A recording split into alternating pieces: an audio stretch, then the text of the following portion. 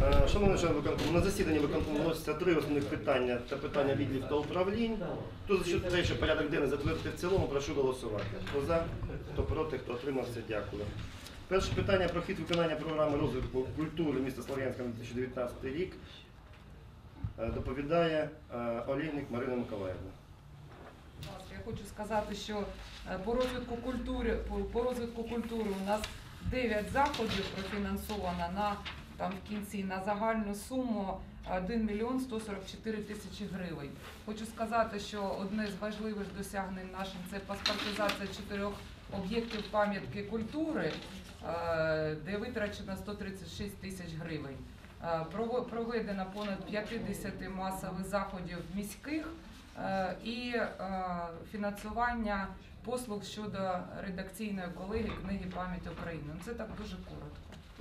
Культурный фонд на коронавирус это мы являем сразу, да, закупку оборудования э, для реанимации, имеется в виду аппараты вентиляции легких и дополнительное оборудование для работы э, реанимационных отделений.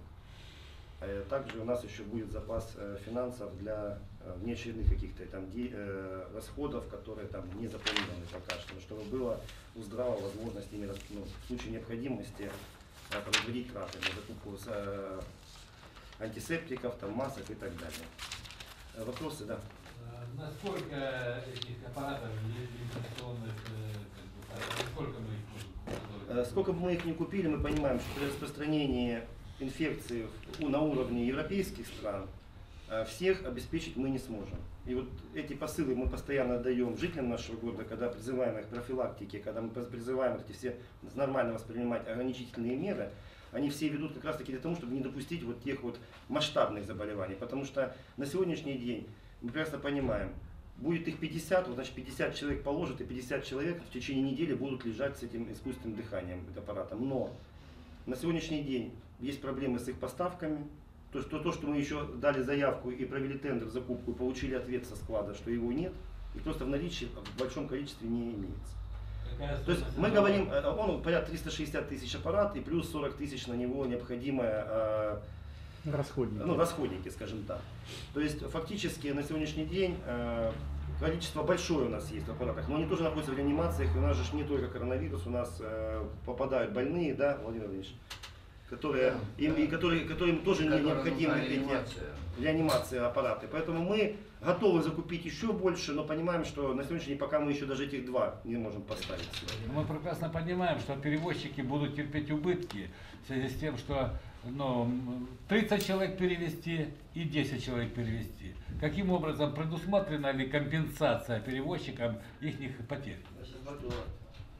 Ну, буквально еще вчера утром, да, до решения Кабмина о том, что у нас 10 в общественном транспорте имеется в виду у перевозчиков и 20 человек в троллейбусах.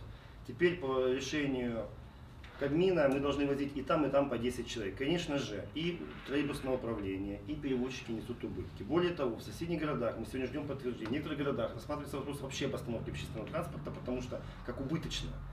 Либо сокращение льготной перевозки. Ну, мы вывозим пенсионеров, да, у нас льготный проезд, и поэтому сегодня стоит задача в первую очередь перевести все-таки людей, работающих на предприятии, чтобы не стала экономика. Поэтому, возможно, я не говорю, что сейчас, мы сейчас смотрим, как будем, на эту неделю мы не планируем пока что никаких выплат, никаких э, отмен, льгот и так далее. Со следующей недели будем рассматривать все вопросы по компенсациям и так далее. Э, совещание с перевозчиками сегодня у меня было. Как с э, коммунальными, так и с частными перевозчиками. Э, договоренность достигнута о том, что не будет останавливаться, все будем ездить.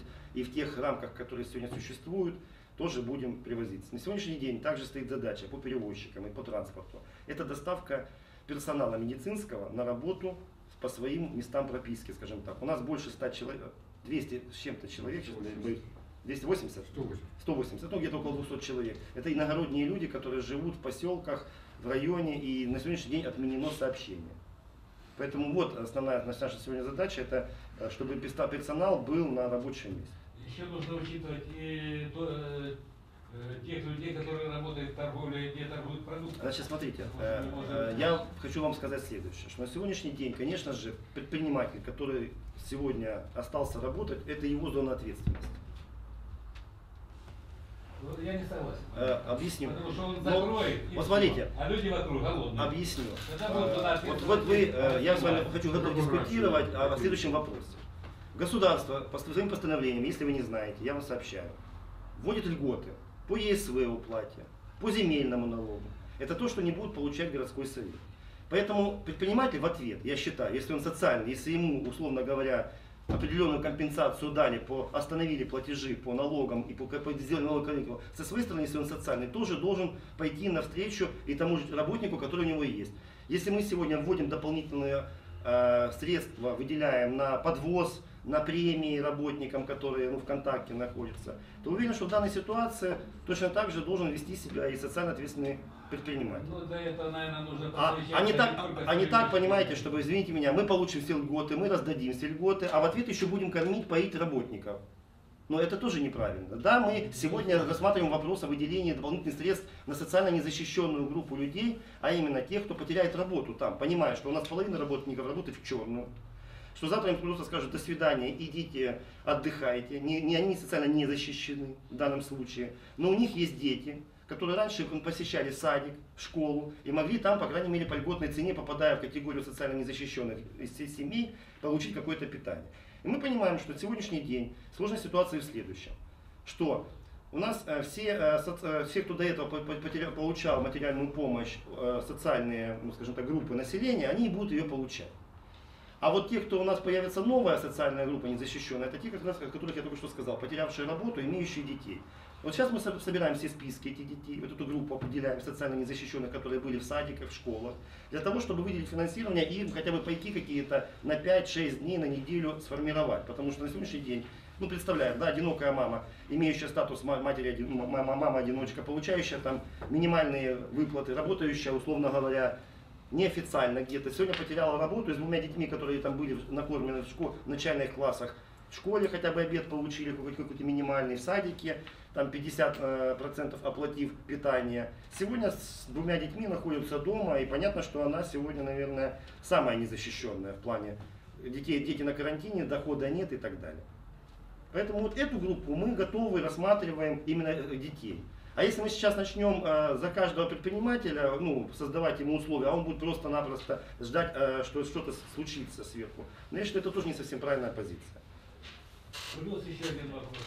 Е, Я виходжу до вас із пропозицією про припинення опалювального сел- сезону на таких об'єктах: Центр культури і довкілля, мережа бібліотек, тобто центральна бібліотека і її філії, і дві дитячо-юнацькі спортивні школи, а також міський басейн. Таке, таку пропозицію я роблю у зв'язку з тим, що вчора ці об'єкти припинили експлуатацію через карантинні заходи. То есть останавливаются вс- фактически максимально добавляются ограничительные меры и, соответственно, вот в целях экономии принимаем такое решение. Кто за данный проект решения, прошу голосувати. Хто за, хто проти, хто утримався. Дякую. Всі питання порядку денного розглянуто. Всім дякую за роботу.